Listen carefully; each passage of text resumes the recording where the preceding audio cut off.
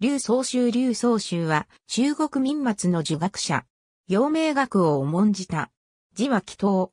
号は年代。学生は三先生と呼んだ。元の名は検証。商工府参院県の出身。流派の井原の子。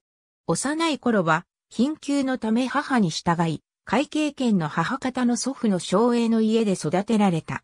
会計商家の子孫には、窃盗学派の小学誠がいる。万暦29年、24歳で紳士に旧大し、後人を授けられた。26歳の時、王陽明の学友の深氏若水の弟子である、巨誠園に指示した。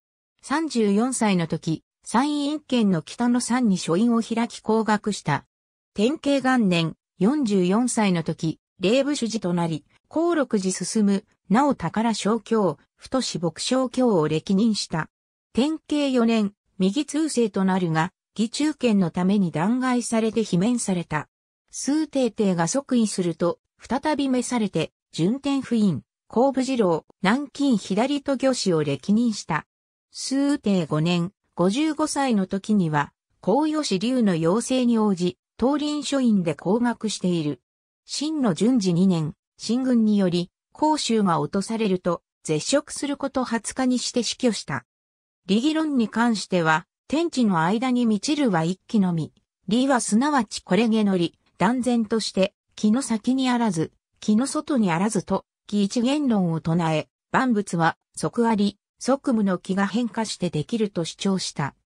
また、心を離れて、性なく、気を離れて、理なしと心を主催として気が、性、理を貫通するとし、王陽明の松室義友説を改め、新読説を唱え、善を好み、悪を憎む誠意を工夫する実践学を主張した。その弟子には、高葬儀や沈閣、調理幸といった人がおり、新書の学術に大きな影響を与えている。また、日本でも幕末期に注目され、春日千より、池田草よりといった思想家に影響を与え、ヒトプなどの著作が日本でも和国され児童啓蒙書として普及した。著書には、収益古文章、駅広し、駅図説、声学収容、原し、論語学案、学こと、トプ、人古域、同登録、陽明伝心録、承認者役言などがあり、流古前書、流古前書異変に収められている。ありがとうございます。